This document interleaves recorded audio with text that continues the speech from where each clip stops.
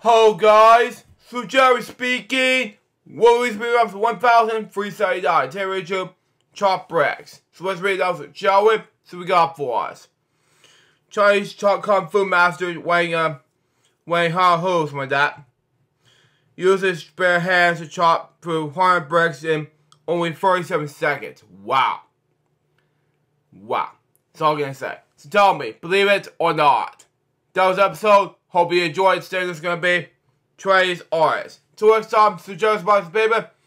We get more episodes to come out. See ya.